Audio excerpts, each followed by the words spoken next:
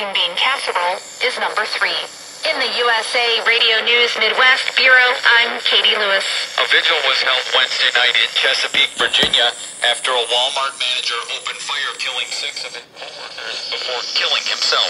This is USA Radio News. With PatriotSoftware.com,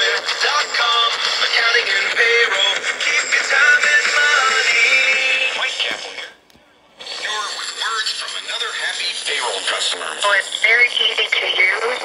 Um, the login and the setup was extremely easy. I didn't have to